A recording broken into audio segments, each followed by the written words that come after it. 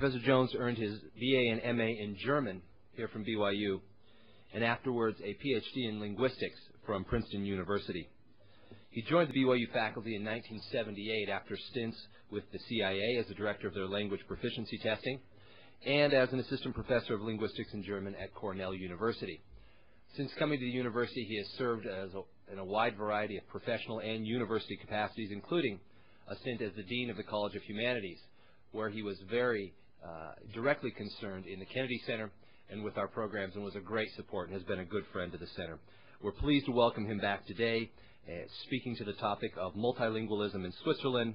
What does it really mean? So please join me in welcome Professor Randy Jones.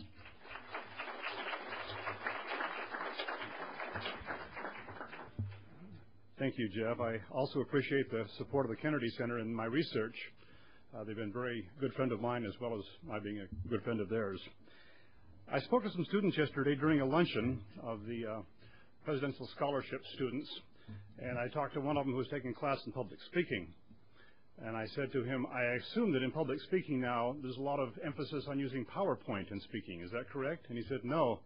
They told us not to use PowerPoint because too often it doesn't work. And so uh, we're going to hope we're going to we're going to hope to uh, change that today. Uh, last winter semester, I gave a talk here at the center, and I used uh, overhead transparencies. They worked just fine, but that's called low tech, and I thought we'd advance into high tech for today's PowerPoint presentation. So what we may have to do is have a vivid imagination, and I'll explain to you what the uh, various transparencies are, the various slides are, and you can just kind of uh, picture that. How are we doing, guys? Uh, any hope? Well, just, just keep on trying. Maybe we'll get the last one on there. Switzerland is a relatively small country located in the center of Western Europe and surrounded by Germany to the north, France to the west, Italy to the south, and Austria to the east. You have a good imagination there, I'm sure. It's known to most Americans for a number of things. And the picture here shows uh, cheese and the Matterhorn and uh, lakes and so forth, Swiss chocolate. It's mainly known for its pristine alpine beauty, but also for its strong independence. Switzerland, for example, is not a member of the European Union, nor NATO. And they've tend to avoid a lot of the uh, alliances that other European countries have been involved with, and until recently had very strict immigration laws. That has changed, however, in the past few years. Although I'd love to talk about chocolate and cheese and even trains and clocks, my talk today will be about multilingualism.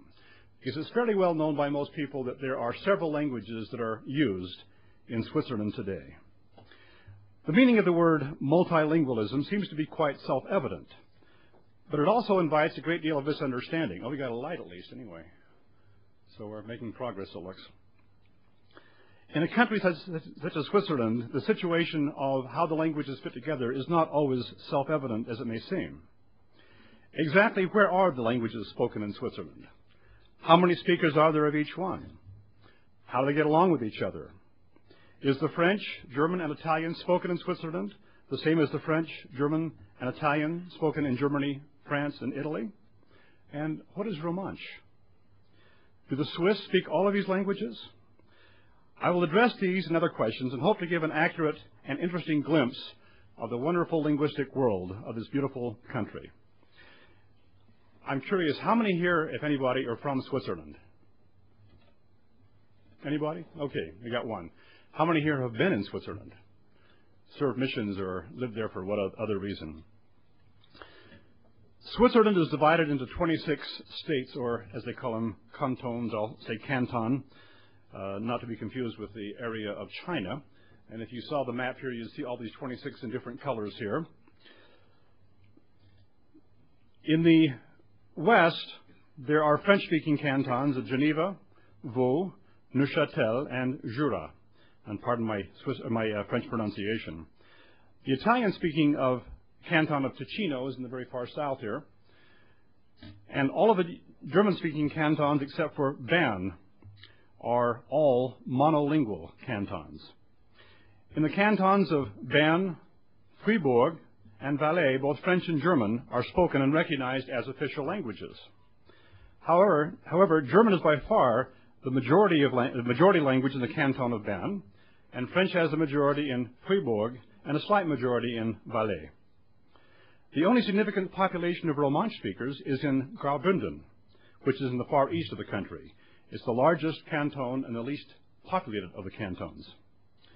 There are also two pockets of Italian speakers here, but the majority and the official language in Graubünden is German. And if you saw the Graubünden map over here, you see down at the very south end two little thumbs that stick out, both of which are Italian population. There are only two cities in Switzerland that are really considered bilingual, Biel and Freiburg. Uh, Fribourg. I want to say Freiburg because it's called that in German. Biel is in the canton of Bern, and Freiburg, not surprisingly, is in the canton of Freiburg or Fribourg. Biel is truly bilingual. And now I show my slides that show the various bilingual signs and everything on the, on the uh, screen here. On the streets and the shops and the railway station, one hears both French and German. When one walks into a shop, the clerk will greet you in either French or German, usually his or her native language. And if we respond in the other language, then they will switch to that. But this language switching is generally not necessary for the locals because most of them are functionally bilingual. It is also not uncommon, I'm told, for a conversation to take place in both languages. That is, one speaks French and one speaks German. The LDS ward in Biel used to be bilingual, but now there are two wards, a German ward and a French ward that meet at different times in the same building. In the city of Fribourg, which used to be predominantly German speaking, it's also bilingual, but in a slightly different sense. The university there is very proud of its bilingual uh, curriculum. In fact, if you look it up on the web page, everything's in both French and German. You can actually have a choice of one or the other, but everything else is generally in both languages. I have a street sign here, also of Fribourg, that shows uh, the name of the street in both French and German. But as it turns out, in the more modern section of the city, the language is generally French. In fact, you'll find a lot of areas that are simply not bilingual. All the signs are in French, and most of the conversations that you hear take place in French.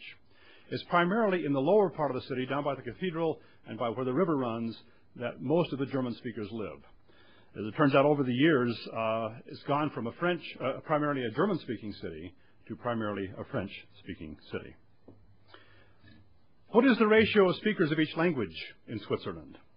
And if you look at the slide up here, you can see uh, it depends upon, number one, if you consider all residents or just the citizens of Switzerland. It also depends on which poll one selects. The graph that you're looking at is based on the 1990 census and includes foreign residents as well as the citizens. As you can see, says here in my notes, German represents 63.7% of all the residents of uh, Switzerland, or about two-thirds. French is 19.2%, or about one-fifth. Italian is 7.6%, and Romansh is 0.6%. So you see here a wide discrepancy in the population in terms of the language they use. German by far the predominant language. And if you were able to see the map here, you see that most of the colored area for German, uh, that is, takes up most of the map. French on the west, Italian down in the south, and then Romansh only in certain pockets in the far east in the area of Graubünden. Now, one category is 9%, and that's other languages. And that may be quite surprising that of the residents of Switzerland, about 9% of them speak a language other than the four national languages. Now, I might point out here that we need to make a differentiation between a national language and an official language. There are four national languages in Switzerland, the ones I just named, but only French, German, and Italian are considered official languages. That is, Romansh, even in the canton of Graubünden, is not an official language. It's used, but it doesn't have the same status as German or even Italian. To gain a better understanding of the multilingual nature of Switzerland, it's helpful to have a look at this, its history. And now I have a, oh my goodness, look at this.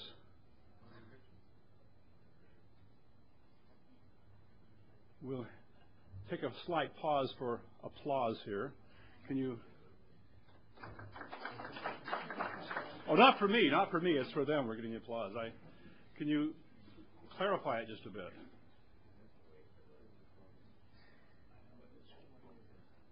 Okay, now go to the. Uh, no, just cancel that and go to File and Open, and then uh, oh dear, go go to C and then to AA Files, Present, and then that's it. No, PP Slides. Oh my goodness, look at this. Okay, go down and, and click on that. Right down here. Right there.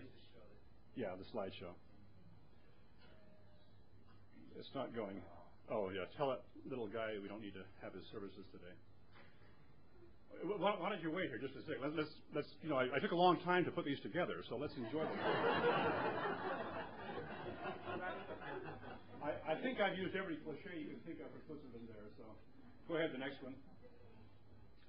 Okay, here's here's the nice map here that shows the various cantons. Notice how many of them there are. Where did I put my little pointer here? This is Graubünden over the very far east here, and uh, the next one, not yet, but notice that the French is over here, Italian is down here, and here and here. Uh, sorry, here and here. Romansh is scattered throughout here, but everything else is German. Okay, the next slide, please. This gives you a better picture. All of this is French speaking, Italian speaking, and then here and here. This is all German, and then these are the pockets where Romansh is. But notice the population density. It's really mainly up between these four cities of Zurich, Basel, Bern, and Lucerne. Of course, Lausanne and Geneva over here, Lugano and Locarno here. This is Chur, which is German speaking, and everything else is mountainous and less populated. Okay, next please. Uh, this is a bilingual sign in B, uh, B uh, sorry, BLDN. You rarely see the name of the city without both of the names associated with it. Next. Okay, this is typical of in Biel. Next. There's a magazine rack. Notice that some things are in French, some of them are in German. These are mainly uh, headlines here. Next. Okay, here's a typical street name, Schmied, Schmiedengasse in German, but Rue de Thank you. In French. All right, next. Now this is the Bahnhof in uh, Biel, notice that everything, German and French. Generally, German has the first billing because it is slightly more German population. Next. Okay, this is in Fribourg. This is typical of some signs you see there, but not everywhere. Next. Okay, here again is the distribution of languages 63.7% German, 19.2 French, 7.6 Italian, a little slice for Romansh, and then almost 9% other languages. Okay. Next. Okay, just one more click. Switzerland was born on August 1, 1291, when the three mountain cantons of Uri, Schwyz, and Unterwalden made a pledge to unite in defense of their borders against the increasingly powerful, powerful Habsburgs. Click. In the 14th century, they were joined by Luzern, click, Zurich, click, Glarus, Zug, and Bern. In the 15th century, Freiburg, and I pronounce it German this time because it was German when it came in, and Solothurn joined the Confederation. Next, followed in the 16th century by Basel, Schaffhausen, and Appenzell. One more. Okay, so this is the development then of Switzerland, beginning with three cantons. There are 26 today, and then slowly adding them over the centuries. Now, this is the way it actually remained for almost 300 years. It's important to keep in mind that up until 1798, just 203 years ago, Switzerland was a monolingual country. German was the language. There were speakers of other languages there, but German was the only official language. As an aftermath of the revolutionary spirit in Europe at this time, the Napoleonic Wars, and the Congress of Vienna in 1815, Switzerland once again began to grow. Graubünden, St. Gallen, Aargau, and Thurgau, all German speaking, and then Ticino, which is Italian, and Vaud, which is French. Next one. Followed by Valais, Neuchâtel, and Geneva in 1815. And this is the way it stayed up until just about 22 years ago when the Canton of Jura was made from the Canton of Bern. I'll talk more about that in just a minute. In 1848, a new constitution was introduced, and it had a more centralized government but also guaranteed a good deal of sovereignty to the individual cantons. By the way, it's important to also keep in mind that up until about uh, 1798, Switzerland was not really a country as we understand it today, but a confederation of independent cantons. It was only in 1848 when a central government was established and the Constitution was written. The federal government has a say in language issues only when it involves the military, the federal public service, or other government related programs that go beyond the level of the canton. So, how does it all work? Is everybody happy? Before I respond to these questions, I'd like to talk for a few minutes about this fourth language, Romansh. We are well acquainted with French, German, and Italian, but the question is, what is Romansh? As the name suggests, it is a Romance language, as are French and Italian. It is a Rheto-Romanic language and is related to Ladin, which is spoken in northern Italy. By the way, there are several ways of saying this language. There's Romansh, Romanish, Romanic. I just choose Romansh because that's what I see most, most commonly in the literature. There are several varieties of Romansh in Switzerland, each one clustering in one of the valleys of Graubünden. Each dialect has its own unique features, but they are generally mutually comprehensible. The speakers are descendants of Latin speakers who occupied these valleys long before the incursion of the Alemannic tribes in the third century. Even though Romansh is considered a national language in Switzerland, it is not an official language even in its own canton, but it has a quasi-official status. It is strongly subsidized by the federal and local governments and is therefore able to provide an education system for its children, transmit radio and television broadcasts, publish newspapers, and even a few books and magazines. Next slide here. This is a welcoming sign to the town of Surselva. Notice that the languages are German, English, and then Romansh in the middle. Next slide, please. And this is the other side of the town, where it tells us Seen Sivesia, I guess, or Auf Wiedersehen, if you prefer that. Next one, please. This is a picture of a book that you've seen before in other languages. This is the Romansh version of it. Now, this says something, because books are fairly expensive to publish. And with a readership of just a couple of hundred thousand people, you can imagine there had to be a lot of subsidization to be able to, first of all, translate this and then publish it. But it was important enough for the children of the Romansh speakers to be able to have something like this for them to read. Next, please. This is taken from a book that is supposed to be uh, a help for German speakers learning Romansh. And if you understand German, on the left over here, you can see what all these things say. Typical phrases that you might use if you're out among the people. Now, as it turns out, virtually every Romansh speaker knows German. So there's no real point in the Germans learning Romansh to be able to communicate. But as, as part of the spirit of multilingualism, they do this. I should also point out that Switzerland is very proud of the fact that there are four languages spoken there. And so they're very anxious to maintain this. Romansh was a dying language for quite a long time. In fact, people today still are talking about uh, its obituary. And yet, it's able to maintain itself fairly well over the years. Usually, however, if a Romansh mother marries a German-speaking father, the language of the children is German. And the other way around, if a Romansh father marries a German-speaking mother, the language of the children is German.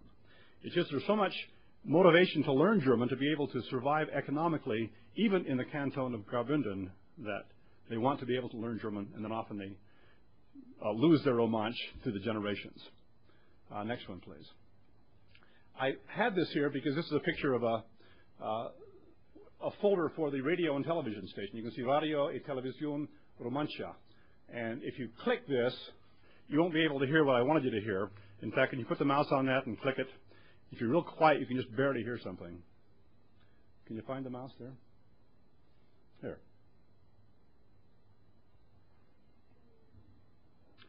I was hoping to amplify this, but it's hopeless. If you want to see me afterwards, you can hear some Romansh.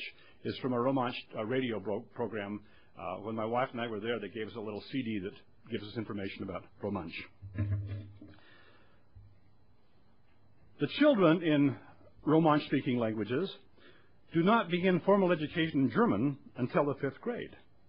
But they are constantly exposed to it. Next slide, please. You've seen this one, but I just want to again point out that this is the upper Rhine valley here. This is the Inn valley, which flows into Austria. And this is another valley over here. This is the lower and upper, I'm sorry, upper and lower Engadine. And uh, this dot you see over here, I think is, no, St. Moritz? St. Moritz is here. The area is best known for its skiing, and people come from all over Europe to go to St. Moritz, to Davos, to Klosters, and so forth. Uh, if you go to these places here where you see these dots, a lot of them are not even Romansh speakers. They're German speakers. The Romansh speakers tend to be in very small communities up in the hills, up in the mountains, and they come down to the larger communities, usually to do shopping and so forth. Back to the question of how multilingualism works in Switzerland. One can say that it works about as well as their clocks and their trains. Unlike other multilingual countries, there have been few serious issues relating from language differences. There are the typical feelings of contempt often directed toward the German-speaking Switzerland because of its size and economic dominance, and it would be wrong to claim that there are no problems. But given the complex circumstances, there's a surprising amount of cooperation and respect among the Swiss of different languages. An interesting survey of young men about their compulsory national service from the early 90s gives at least a glimpse about language attitudes in Switzerland. I don't have the information about numbers, but young men from the four language areas were asked if they found, would find language to be an obstacle if they were assigned to serve in one of the other three language areas. Could I have the slide, please? This is hard to understand, uh, partly because the colors didn't come out, I mean, the shades didn't come out right.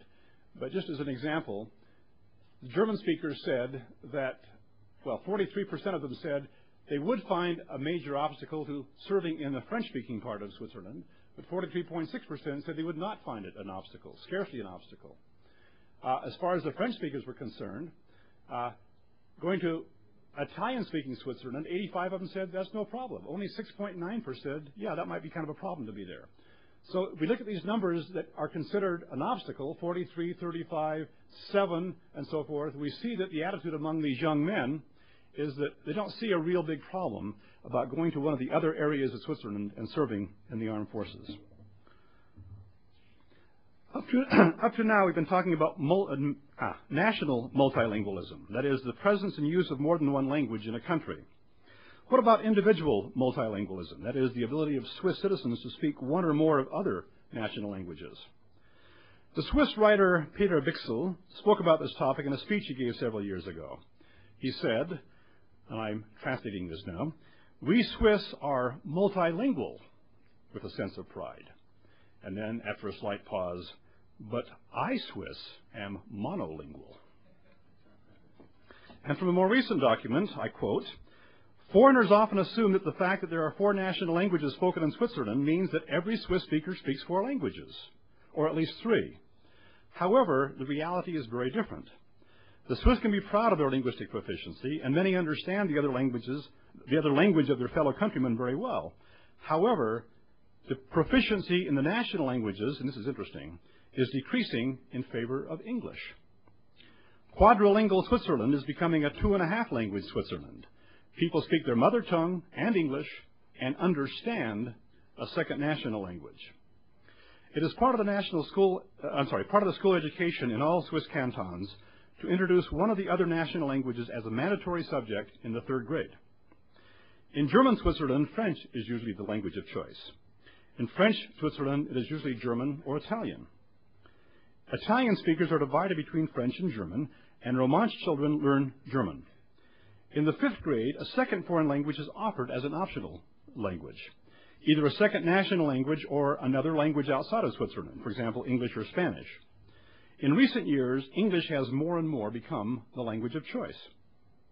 How effective is this training in the public schools of Switzerland? Well, it depends on how you evaluate it. According to the literature, fewer than half of Swiss adults claim to be proficient in any other second national language. In fact, except for Romansh speakers and those who are, whose occupation requires them to use a second language, most Swiss rarely have or even seek the opportunity to use a national language other than their own. Many of them can understand one of the other languages, but most of them would not hold up well in a conversation. Last summer, my wife and I spent a week in the non-German parts of Switzerland. We began in Jura, went to Neuchâtel, then to Fribourg and Vaud, finally Valais, and then Ticino. I will be the first to admit this was not a rigorous scientific study. But, based on what I'd already read, I wanted to verify some of the claims. I simply spoke to people in German to see what the response would be. Our first stop was a McDonald's in the city of Delemont in Jura. I noticed that all the newspapers there for people to read were only in French. I said to the two young girls behind the counter, Guten Tag, verstehen Sie Deutsch? I'm convinced that the correct answer to this question should have been ja. They understood me perfectly well. But in order to avoid the possible situation of having to speak German, they made the usual gestures, shrugged shoulders, and responded in French. The next stop was the pharmacy, where an older woman spoke a little German with me, but not very well. The woman at the tourist office spoke very well, but with a strong accent. We had the good fortune to meet an elderly man whose mother was Swiss German, and he took a liking to us and gave us a personal tour of the city, all in German. When I explained to him my interest in multilingualism, he said that in the Jura, the older people speak better German than the younger ones because it was once a part of the canton of Bern. He said one doesn't hear much German in Delémont, or in Jura for that matter. In Neuchâtel that evening, we found there was no evidence of German on signs, menus, and so forth. The woman in the hotel, in fact, preferred to speak to us in English. And so it was in Lausanne, Montreux, and Sion. The situation was somewhat different in Lugano, one of the two large Italian-speaking cities in Ticino. Besides speaking with people on the street, I spent some time in a department store, going from department to department and asking in German where I could find men's shoes, electronics, the cafeteria, and so forth. The results were mixed. Older people generally were more proficient than younger people. Some could not speak at all. But, again, as you walk around the city of Lugano, one has a definite feeling that one's in an Italian city, not a bilingual city. We also spent a couple of days trying to find Romansh speakers and had a, had a little success, I'm sorry, a little success in the town of Ilanz in the upper Rhine Valley. Most Romansh speakers live in small communities but interact with Germans regularly. We spoke with young children about 12 to 13 years old. Their German was good, but it was obviously a struggle for them to speak it. They said that they use only German, use German only in school and then communicating with German speakers in Ilanz. We talked to an older man who lived in the mountains and came to Ilanz each Saturday to shop and do other chores. His German was quite weak, and he said he rarely speaks German. You might be thinking correctly that I neglected to study how well the uh, German Swiss speak French and Italian. Guilty, but according to literature, the situation is only slightly different. In several studies, one reads that in a conversation between a German Swiss and a French Swiss, Swiss, French is generally the language that's used. No explanation given. A final matter must be mentioned. We think of French, German, and Italian and associate them with the languages spoken in the countries that carry a similar name. The most commonly spoken language in Switzerland, however, is not German, but Schweizerdeutsch, a dialect or a set of dialects which is used by virtually all German Swiss most of the time. Indeed, Swiss German Swiss Germans learn Standard German as a second language in the school, usually beginning about age six. Many adults are uncomfortable about speaking Standard German, and some of them rarely have occasion to. I was talking to a young woman from Chur yesterday, a, a Swiss German, basically. And it's obvious that uh, her German is not the same as it's here from Berlin or Frankfurt. And I asked her, is it a chore for you to speak standard German? And she smiled and said, yes, it is. Because at home I rarely use it. Only it's, in, it's only in church and if she has um, things to do with, with people from Germany or other German-speaking countries. Let's see. This next slide, I'm sorry, this next slide here. If you look at this, it's interesting that we have the domains down here and dialect versus standard. This is for Swiss German. Almost everything is done in the dialect. And as far as the standard language is concerned, it's only in school or at the university and then only part of the time. Most of the time, from a day-to-day basis, they just use their dialect to speak. Now, what does this mean as far as linguistic equilibrium is concerned? Think of the French and Italian-speaking children learning German in school. They learn standard German, not Swiss German. Let's assume that a young woman from Lausanne has developed a good proficiency in German and wants to do an internship in a bank in Zurich. She may perform well in her official duties, but what happens if she wants to join her German-speaking colleagues for lunch or attend a social gathering in the evening? They will speak to her out of politeness in standard German, but to each other in Swiss German. She'll have difficulty integrating socially until she's able to speak and understand the colloquial language of Swiss German. I mentioned earlier there have been few serious language-related situations that threaten stability in Switzerland. Let me mention briefly three. The first was in the early years of the 20th century during the so-called pan-German movement in Europe that was evolving under Bismarck. There was extensive penetration of German ideas and personnel into the Swiss universities, intellectual life, commerce, and industry. Even the tourist trade and army were affected. All of this reflected the new German nationalism.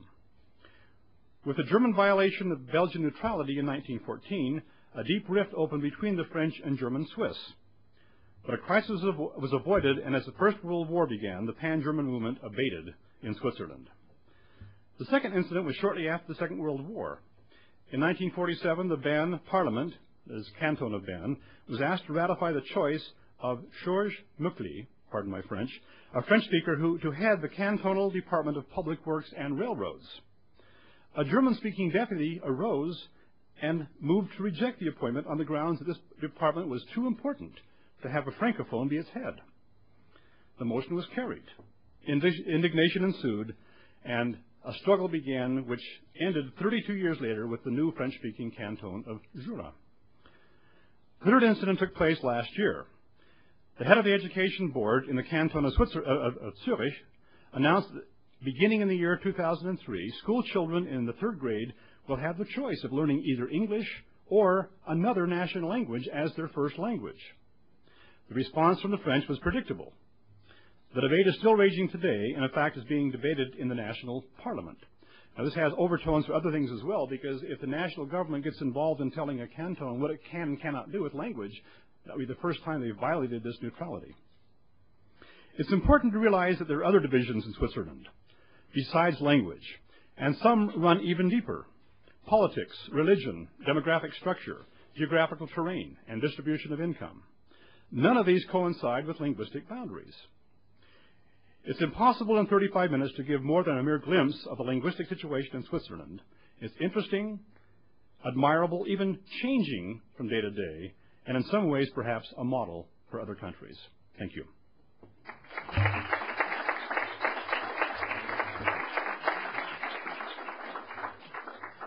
We have time for about five minutes of questions from the audience, if any of you would like to ask Professor Jones. Let's see, right back here first.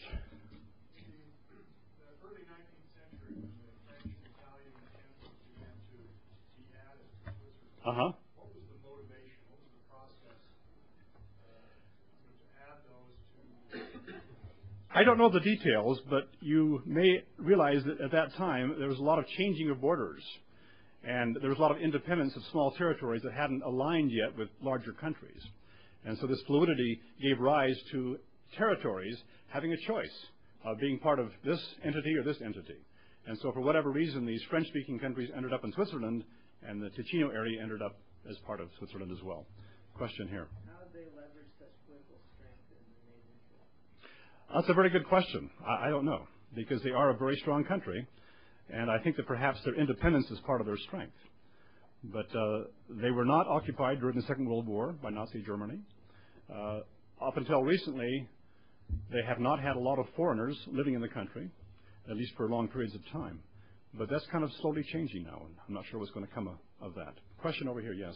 Actually, I was going to answer the first. Oh, please do, yes. A lot of the cantons that came in after Napoleon had been part of the Confederation before. Okay, but not officially, though. Yeah, they've been colonies of places like Bangor and other places. They were granted independent status after. Yes, the independence of, of, uh, of the country as a whole came in the 19th century, actually. So it, it solidified, you might say, in these as you call them, colonies, then became officially part of the Confederation. Royal? Oh, there is. I didn't bother to look at it, but uh, a lot of it's English. Uh, a lot of it is um, Albanian. Uh, a lot of the uh, Eastern and Southern European countries, people coming there for economic reasons to, to work there. Some Spanish, kind of a yeah, Portuguese, kind of a, a, combination of a lot of the European countries, especially that are economically a little less well off than the other Western European countries. Other questions? Yes, Shirley. It's uh, Protestant, uh, Protestant and Catholic. French is pretty much all Catholic. Uh, German is split between the two. Uh, Ticino is Catholic. Uh, I think in Graubünden it's Protestant. I'm not really sure. But there are also Protestant sections of, of uh, French-speaking Switzerland as well. So as I say, the, the, linguistic boundaries and religious boundaries don't coincide. So that's another thing to, to give rise to disagreement. Yes? Is that German uh, dialect, is it Alemannisch? What's that? Alemannisch. Oh, yes, it's Alemannisch. That's right, yes. Uh, it's High Alemannic, as a matter of fact. Uh, uh, well, Baden-Württemberg is, is considered low Alemannish, not from a a cultural standpoint, but just the historical development of it. Yeah. Swiss, Swiss German is, is definitely High Alemannic. Other questions? Okay, well, thank you for getting the, the hardware working. I guess we had one more here. I'm sorry. This is just a personal question. I wanted to know whether you speak French or Italian. I don't, and I apologize. I, I make I realize it makes this survey I did kind of one-sided, but uh, I just wanted to see what I could learn and discover by going to those places and talking to them in German to see what the response would be. Okay, thanks for the technology support there and the fact we got that working.